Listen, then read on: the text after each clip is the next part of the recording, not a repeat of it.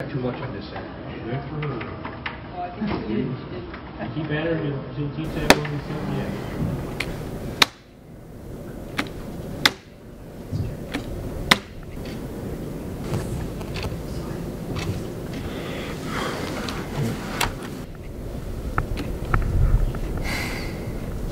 I actually manage my time quite effectively. I get my work done and hopefully to leave on time to meet my friends. Actually, now you talk about it, it's nearly half five, so I've got to be going.